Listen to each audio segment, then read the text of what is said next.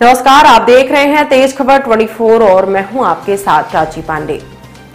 गीता जयंती के शुभ अवसर पर आज पूर्व मंत्री एवं रेवा विधायक राजेंद्र शुक्ला ने ग्राम लोही में लगभग एक करोड़ 11 लाख रुपए की लागत के विभिन्न निर्माण कार्यों का भूमि पूजन एवं लोकार्पण किया। कार्यक्रम के दौरान रेवा विधायक श्री शुक्ल ने पाँच दशमलव तीस लाख रुपए लागत के विधायक निधि से बनने वाले भव्य खेम सागर मंदिर गेट का भूमि पूजन किया। इसी कड़ी में रामफल साहू के घर से शंकर लाल साहू की दुकान तक छह दशमलव इक्यासी लाख रुपए लागत से बनने वाले आरसीसी नाली निर्माण। अंजनी साहू के घर की ओर बारह दशमलव पंचानवे लाख रुपए की लागत से दोनों तरफ़ बनाई जाने वाली नाली।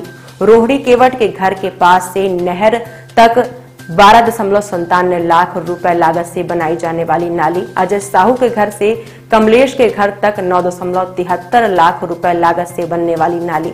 सुदूर सड़क निर्माण रीवा गुड़ मार्ग से लोही से क्योटी नहर के ऊपर खौर की सीमा तक चौबीस दशमलव चौहत्तर रूपए की लागत से बन रही ग्रेवल रोड। संगीता तिवारी के घर के पास से उमेश तिवारी के बाउंड्री तक चौदह दशमलव सात की लागत से बनने वाली दोनों तरफ़ नाली निर्माण कार्य की अलावा माइनर नहर से नंदकिशोर त्रिवेदी के घर की ओर से बनने वाली ग्राम सुदूर सड़क निर्माण कार्य का भूमि पूजन तथा प्राथमिक पाठशाला योग संगीत विद्यालय का लोकार्पण किया। अध्यक्ष नगर निगम।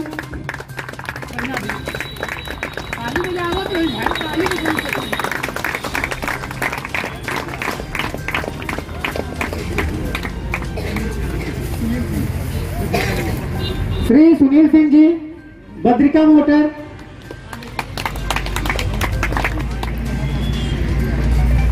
श्रीमती कहेंगे जी का हर जगह मंदिर होता और लोही वाले कितने भाग्यशाली हैं और इस अंचल के लोग कितने भाग्यशाली हैं। कि हनुमान जी के मंदिरों में ऐसा मंदिर उनके पास है, जिसको हमारे पूर्वजों ने संज्ञा दे दी है कि ये सामान्य मंदिर नहीं है, ये सुप्रीम कोर्ट है। ये चुरनाथ स्वामी और रामसागर मंदिर के बाद के ऊपर के हनुमान जी हैं। और यहाँ इतने दिनों के बाद गेट बन रहा है, ये हम लोगों की कमी है। और फिर वहाँ से भी काम नहीं बनता तो खेम सागर महाराज जी के पास सुप्रीम कोर्ट आते हैं। और अंतिम न्याय की गुहार यहाँ पर लगाते हैं, अंतिम आशीर्वाद, कृपा का यहाँ पर लोग अपना आवेदन प्रस्तुत करते हैं। ऐसे खेम सागर महाराज का स्थान यही है, इसका जब रोड से निकलते हैं तो लोगों को पता नहीं चलता जो बाहर के लोग हैं। इसलिए भव्य गेट बना के हम